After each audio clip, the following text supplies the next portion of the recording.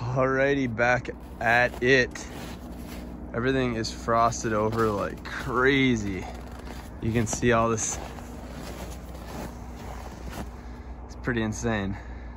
It's, it's like uh, 10, 10 degrees out or so Fahrenheit. And I'm gonna go, I'm gonna put, uh, I've got this box is full of traps. So I've got about, um, I don't even know, maybe uh, a bunch of snares and then some 330 conibears. I'm gonna kind of go to a new area, try to get about 10 traps out today. We'll see if I can or not. I have seven and a half hours of daylight, so potentially gonna try a new setup with some chicken wire I saw on a YouTube video. So that uh, kind of make a pen out of chicken wire and then set the trap uh, in the opening. So I'm kind of excited to try that out. And uh, yeah, gonna get this loaded up and get out of here. Let's do it.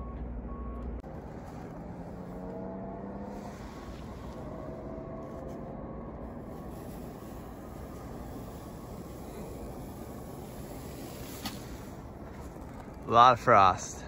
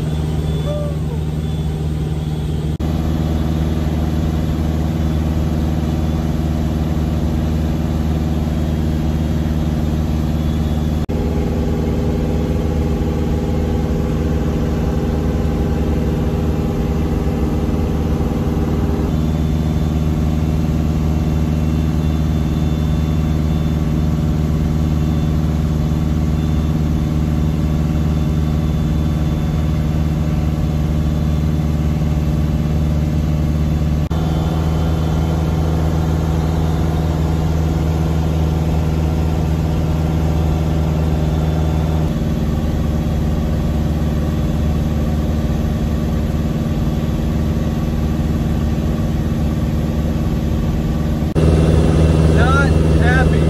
Dang it.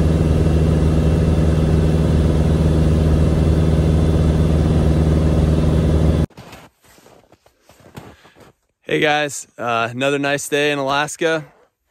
I uh, sort of had a bit of a bust. I took off. I flew about an hour and a half, and um, or you know maybe not quite an hour and a half, but ended up uh, getting uh, on the other side of the Alaska Range, and it was just totally socked in. Uh, I couldn't see couldn't see the ground. Uh, I went about ten minutes and realized like literally everything I could see was socked socked in on that side, which is where I kind of wanted to set some traps. So I just decided to whip a 180. Uh, I sort of want to. I've gotten quite a bit of feedback on on the old YouTube uh, about a diff, diff, couple different uh, setups, techniques, and so I'm going to sw- switch a couple of these around that I already have uh, and see if it has a better better result. So um, I know that this one had some tracks uh, coming up to it, and I'm going to try uh, setting it up with chicken wire. We'll see how that goes, and you know, I shaved the stash, so I'm kind of hoping that brings some more good mojo with it. Now that we got the first Wolverine uh, on on the um, on the board, uh, I shaved the stash and uh, for new beginnings. So hopefully we can uh, keep it going, repeat, uh, and maybe get a couple more. We'll see. Okay, experimenting with something new here. I've got a uh, chicken wire, four foot, four feet tall, and then the bait's just kind of wired in the middle. It's about 12 inches off. I've got some things to make sure they lift their head and try to go through there. And then uh, I'll probably brush it in a little bit more still, but uh, then I've got a wing and a snare. And so I'm hoping this will just uh, bring them home. Should uh, should be dynamite, I think. Okay, another refusal, but I'm curious what kind of tracks these are. So, I mean, they're gigantic. Really, really big, whatever they are. Going up there. They uh, came in, looked at it. I like the way this one's set. It doesn't appear to have gotten like any snow, so pretty awesome. But the bait's kind of snuck, snuck in there. But uh, nothing on this check, so let's go for two now. But that's okay. Heading to the next spot. It's a gorgeous day out. All right, here are all the goodies. There's actually, I believe these are lynx tracks. So there's four toes. which uh, is a lynx. Five toes is a wolverine. And there's some rabbit tracks right there. So, um, and actually, I don't know if you can make it out, but right under that tree, there's actually wolverine tracks that come across. So I think this is probably a pretty decent spot to just put a set. And uh, I'm gonna set up the old chicken wire set again and see if I can have any luck. I actually think this is a really cool spot because there's a, like almost, I mean, man, if I was an animal, this is where I'd want to come back here and hang out. So uh, it's pretty cool. Should should make for a really uh, money, just natural set.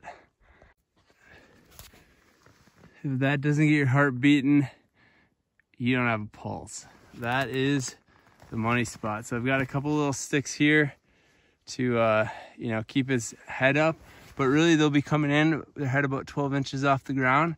And my hope is that they just kind of go right through that opening. That should be about, about perfect. So uh, they'll be able to lock in on the bait and they can see that from outside of here too. I'll show you in the open. Golly, I'm getting destroyed by this pine tree here, but I'll kind of clean these trees up a little bit. Yeah, I can land right here. There's the bait. You can see it kind of with the pen.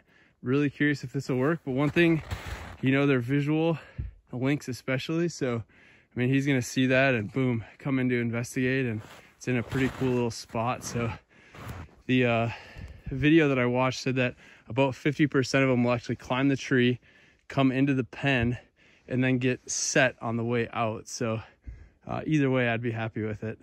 And I'm gonna put a snare up somewhere around here just in case, uh, catch him when he's, uh, you know, cautiously walking around and that would uh, do the trick too. So it's kind of a cool spot. It's like sort of in a little canyon. There's a creek that flows down here.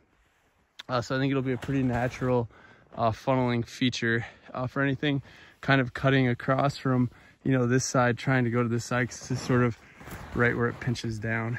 Um, but lots of tracks. I mean, there's tracks here, tra which are rabbit, lynx, and then right under that pine right over there are wolverine tracks. So there are definitely a lot of animals in this area and hopefully this will do its duty.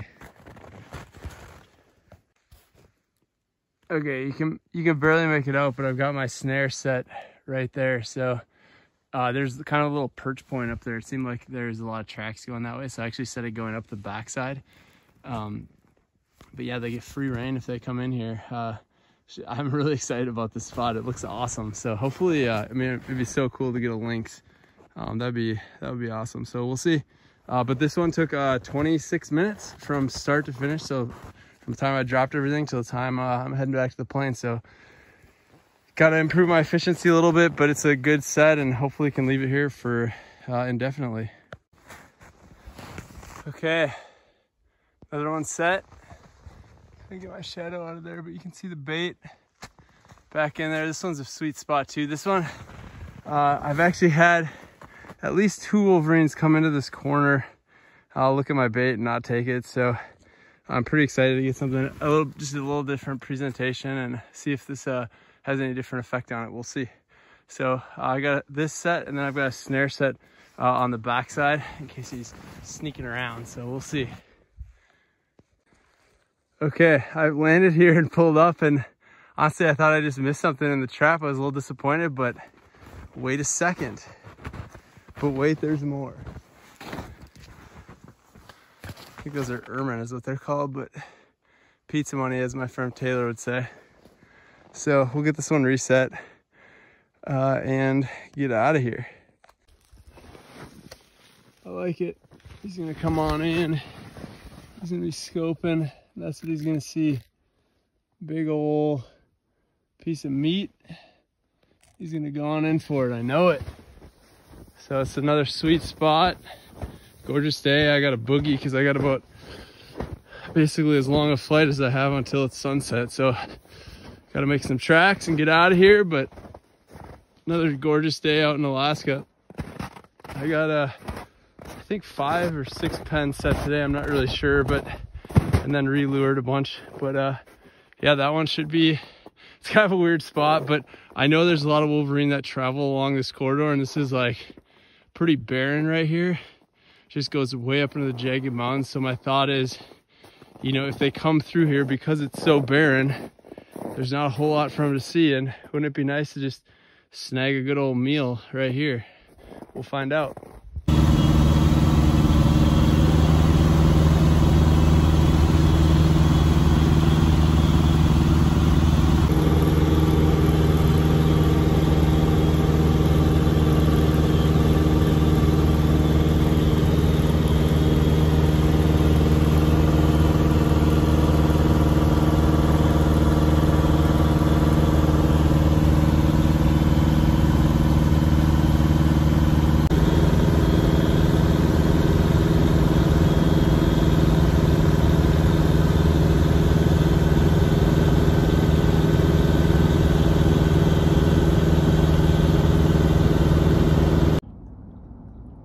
Okay, not much to uh, show for the last day, but I got uh, back to Merrill, got her tied down, parked, got I think five or six new traps set, which I'm pretty excited about using that pen. And then uh, this was the ermine that I got in a Conibear 330, if you can believe that. So uh, they're actually kind of cool. They're you know they're not very big, but they've got like this black tail, and then they're just pure white. So it's kind of I don't know, kind of cool. Uh, I'd say it's got to be at least a triple X ermine if I've ever seen one before. So uh, pretty uh, pretty exciting stuff. But I'm sort of wondering if uh, shaving the mustache was a bad idea. It might have lost my mojo.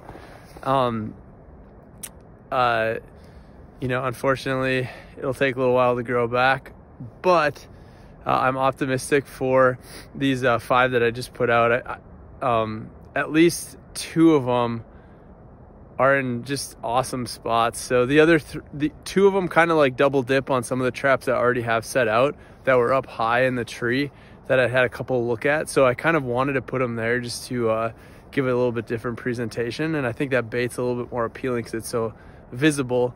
Um, but then two of them are in new spots, uh, which you know I think actually have a pretty good chance chance at a lynx. So that's kind of cool and then I have snares set up, uh, at least one snare on each of them. So that's kind of sweet too.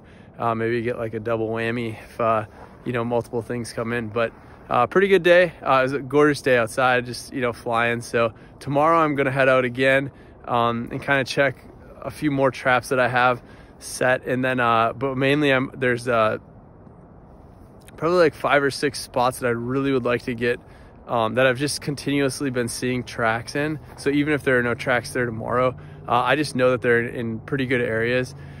So I'd like to get five pens set there. Uh, I'm just going all in on these pens and seeing if they work. Because right now the bucket hanging up upside down in the tree doesn't, to me, seem like it.